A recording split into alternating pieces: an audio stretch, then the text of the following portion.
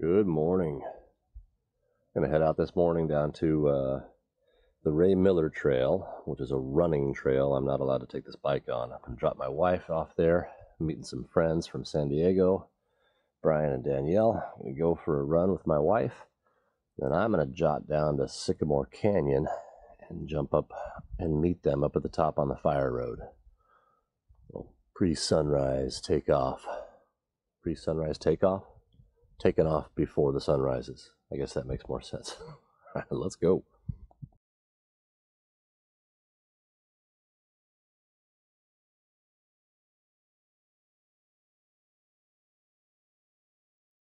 All right, made it out here. The runners are off running. I'm going to take off and go meet them up the trail. I switched the saddle to more of like a mountain biking trail saddle. I like that style more. For me, it's more comfortable. Funny, my, my buddy's the opposite. He got a he got a, a lazy boy. Starting off with zero miles. Got a full charge, but for some reason lately the battery thing is starting off at three quarters or half. But then as soon as I start, it'll go to full charge. So whatever, it is full charge. All right, let's hit the trail.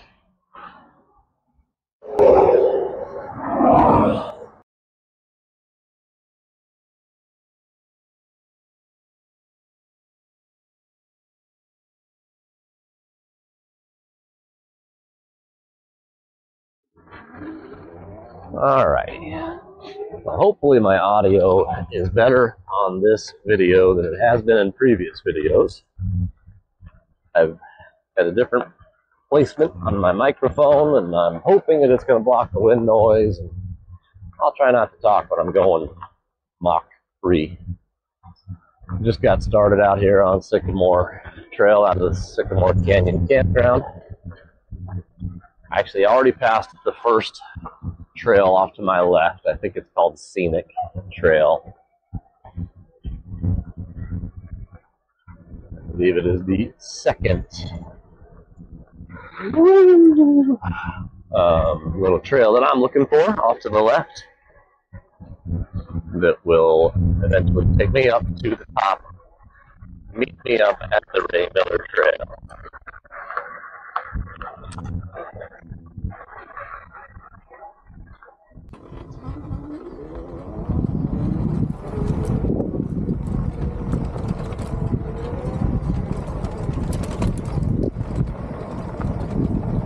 All right, let's see if I can manage to hold this camera in one hand.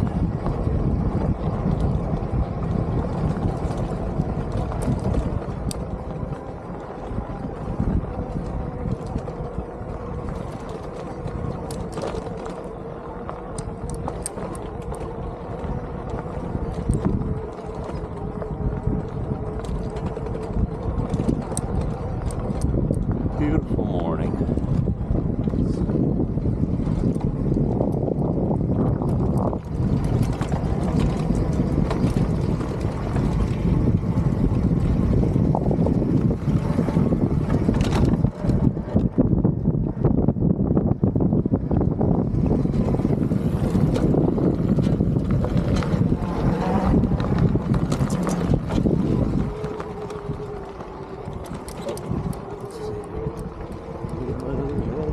All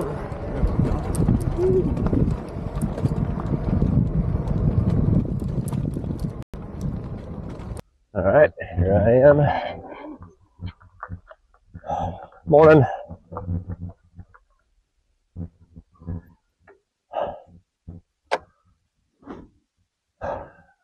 I told them if they beat me here, I know I'm not going down that way. I've Oh, I know. I've run this trail a hundred times. Thank you, though. I appreciate you informing me. There's always somebody, you know, that's going to have to tell you. This is the Ray Miller Trail. It's a single track, as it was just pointed out to me. There's no bikes on that trail. So, they are not here yet, those slow pokes.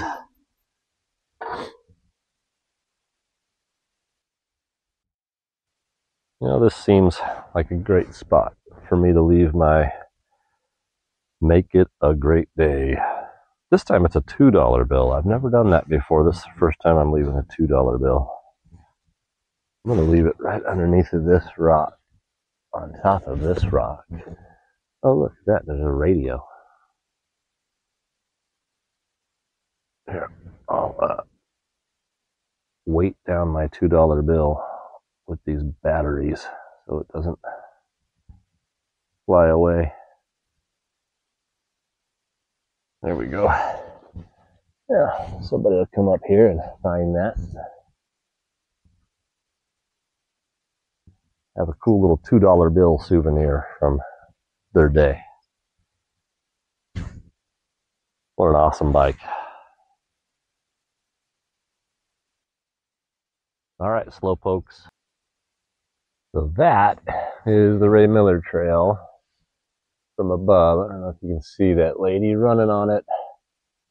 And it meanders its way down here. See some people coming up the path. All the way down into the valley, out, down at the beach. It gets you up here at elevation fairly quickly, but it does it in a nice, a nice kind way. It's a it's definitely a runnable uh, trail. Fun.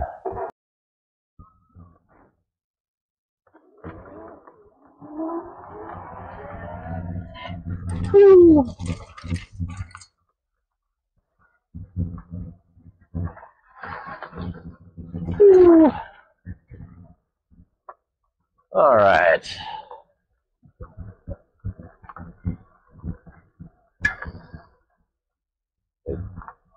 They should be coming around the corner here pretty soon. There they are. Hello, friends.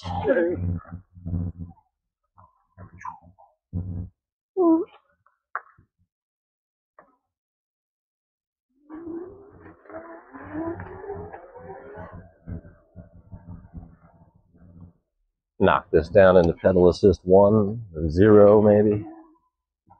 Maybe zero.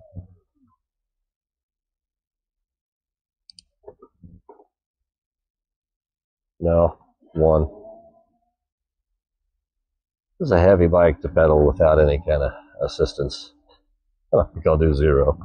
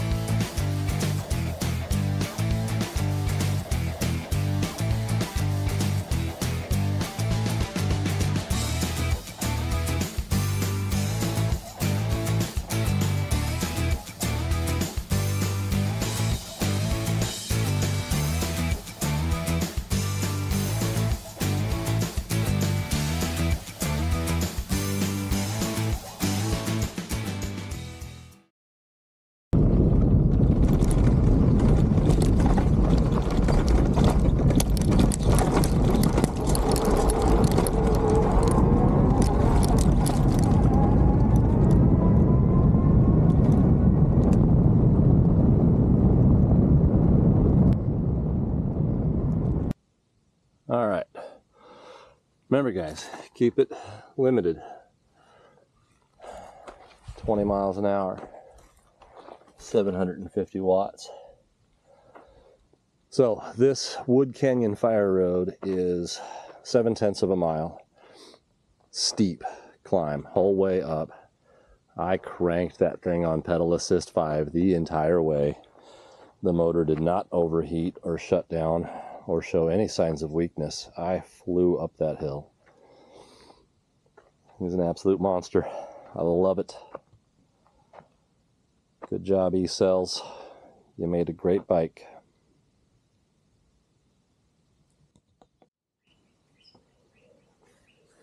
All right, well, it turns out riding that aggressively down these hills doesn't come without a price.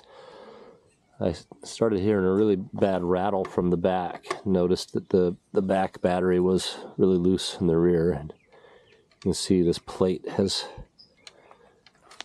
gone loose. The screws have gone through it.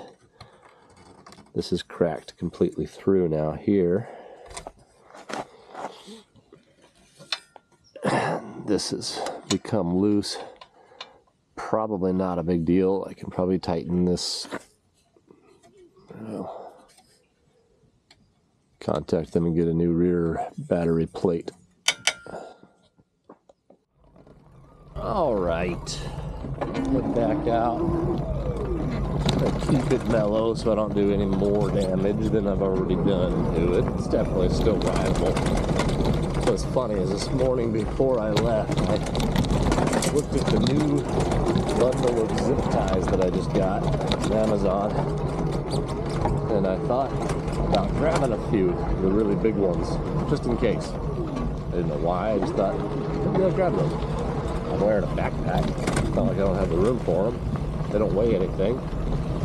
But for some dumb reason, I said, ah, nah, I don't need them. What am I going to need zip ties for?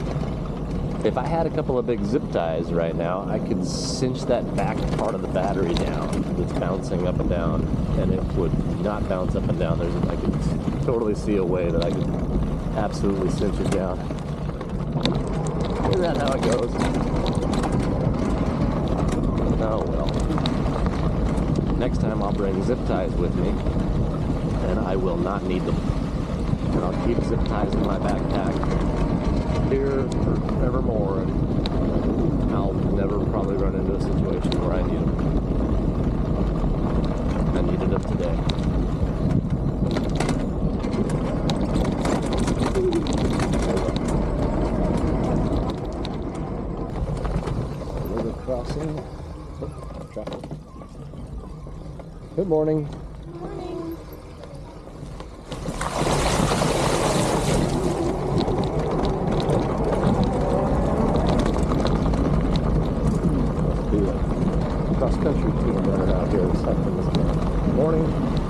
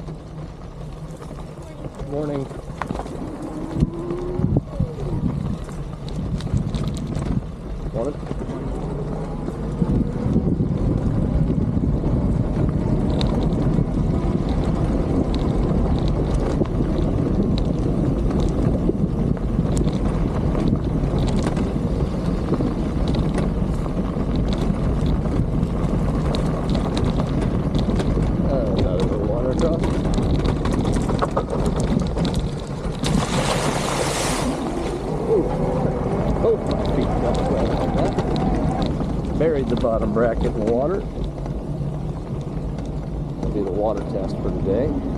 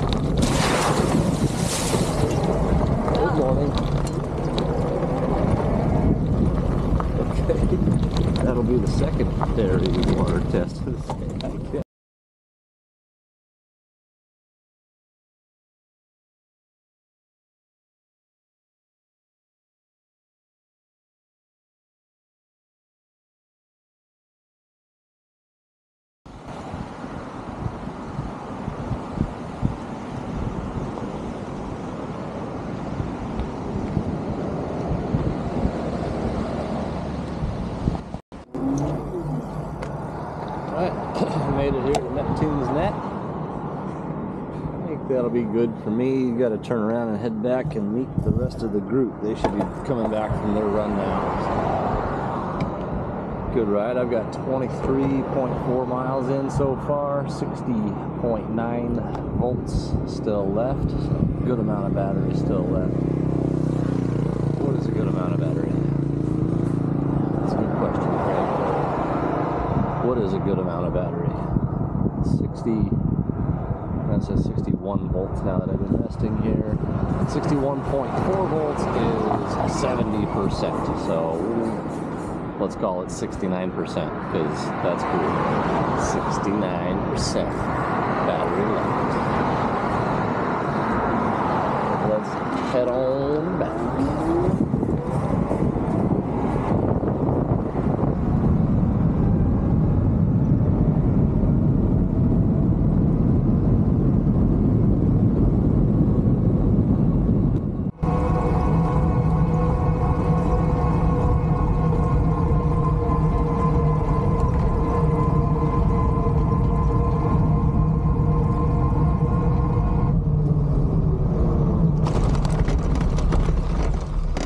All right, I really want to get to the top, but I'm not sure how much time I've got to meet my wife and my friends, so I'm going to this my top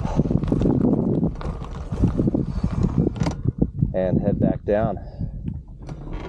I apologize ahead of time for the wind noise. This is going to get bad going down this steep hill but I kind of want to holler out my uh, my top speed that I get to. So